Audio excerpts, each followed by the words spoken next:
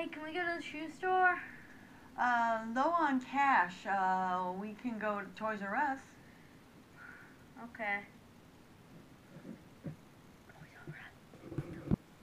What I want to say. Hey, can we go to the shoe store? Um, no, we can only go to Toys R Us.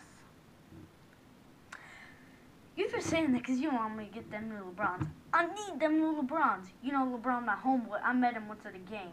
He threw a drink in my face. He Mm. my homeboy. This all looks so good. Hey, can you pass me the sauce?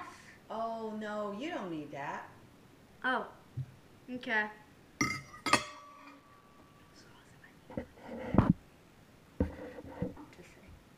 Hey, can you pass me the sauce? No. Okay. Oh, mm, I need my sauce. Okay, you getting wrinkly. You don't need that sauce. I need the sauce. I need my sauce.